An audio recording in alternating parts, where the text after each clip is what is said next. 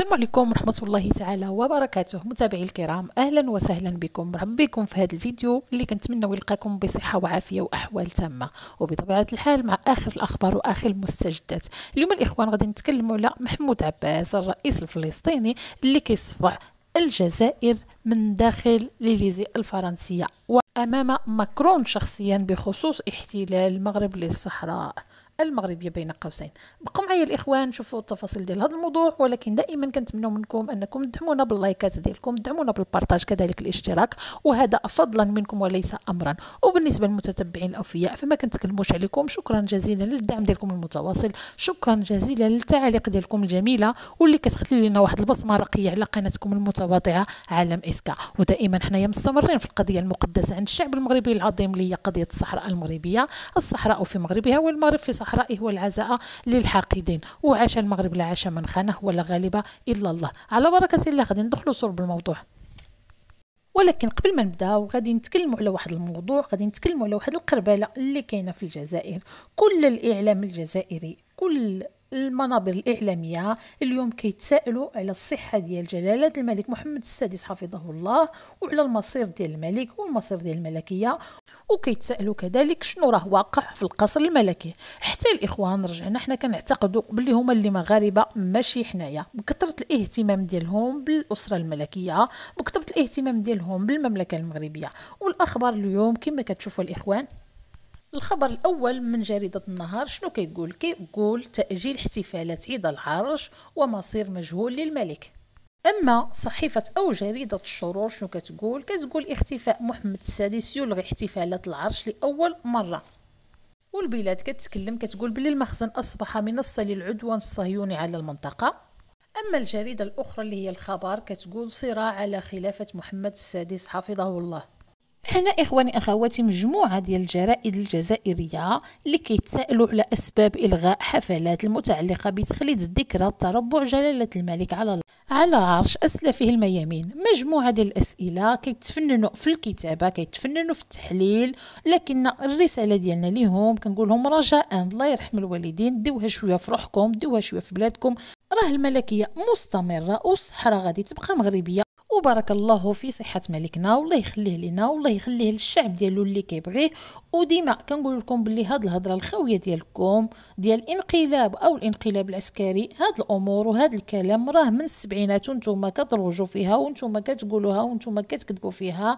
من نهار دعمتوا افقر باش يدير انقلاب ولكن الله ما يسرش ليه. وبلادنا الحمد لله غادية بخير وعلى خير. وكما قال السيد ناصر بوريطة المغرب راكب واحد القطار اللي عارف المسار ديالو فين غادي عارف طريقه فين غادي. المغرب ما كيتسوقش لهذا الكلام الفارغ ديال الكابرانات اللي كيبغيو يشوشوا اللي كيبغيو يديروا واحد البلبلة والكل كيعرف باللي الإعلام الجزائري هو واحد الإعلام اللي هو ممول من الكابرانات.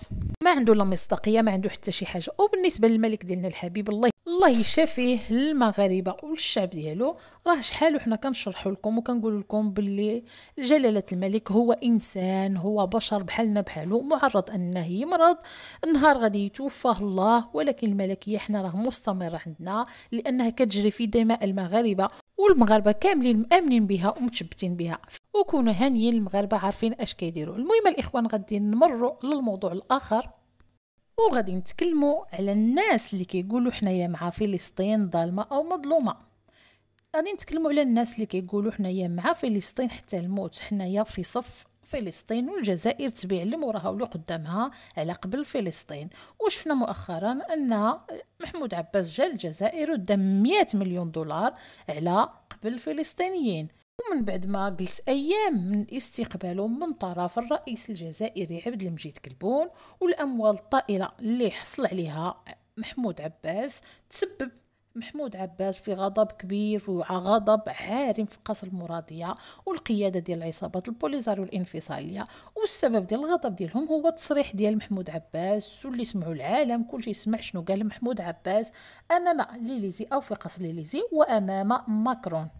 هنا اخواني أخواتي محمود عباس مشى للجزائر دا واحد الحصيصة ديال الفلوس باش يتوسط لهم عند إسرائيل باش كذلك يسمع لهم شي كلمة ترضيهم وتغضب المغرب. هنا الإخوان هاد الكابرانات هاد الشعارات ديالهم الخاوية وهاد الأكاذيب ما كلاتش مع محمود عباس. وغادي يعطيهم واحد الضربة اللي ما كانوش كيتوقعوها. وفين؟ في قصر ليليزي قدام ماكرون. ناري على طيحة يعني طيحة خايبة. هنا الجزائر ملي كتكلم على الجمهورية المزعومة ديما كتقارنها بفلسطين. وغادي يقول واحد الكلام واضح اللي ما يقدروش الجزائريين يحرفوه أو يقولوا باللي راه ما قصدش. وأن الظروف ديال فلسطين بحالها بحال الظروف ديال الشعب الصحراوي أو الجمهورية الصحراوية حسب التعبير ديالهم وكيعيشوا نفس الظروف وعندهم نفس الاحتلال أو يعني كل دولة وعندها احتلال.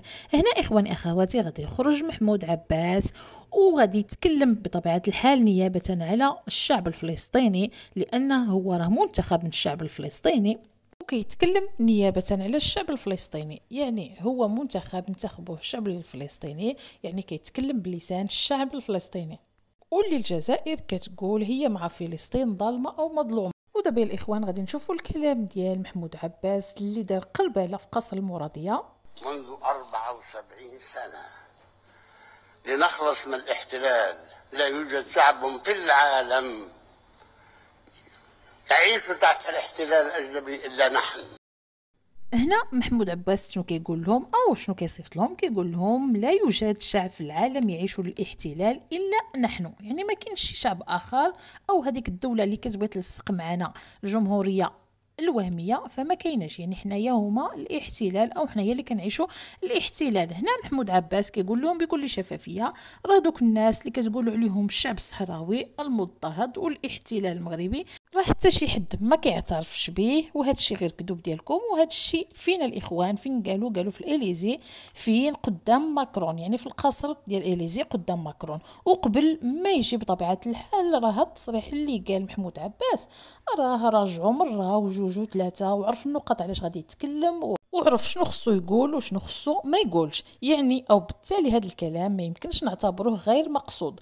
هنا إخواني أخواتي محمود عباس كيهضر عليها أو كيهضر على نيابة على الشعب الفلسطيني والرئيس هو رئيس منتخب اللي كيوصل رسالة للكابرانات باللي ديك القضية المزعومة اللي كتبغيو تربطوها بينا راه ما يمكنش أنكم تربطوها بينا لأننا حنايا هما الاحتلال الوحيد أو حنايا اللي كنعيشوا الاحتلال الوحيد منذ السبعينات. اذا الورقة ديال فلسطين ظالمة أو مظلومة يعني الجزائر ملي كتقول نحن مع فلسطين ظالمة أو مظلومة يعني هذيك الورقة باش كتلعبوا راه ما بقاتش واكلة لكم.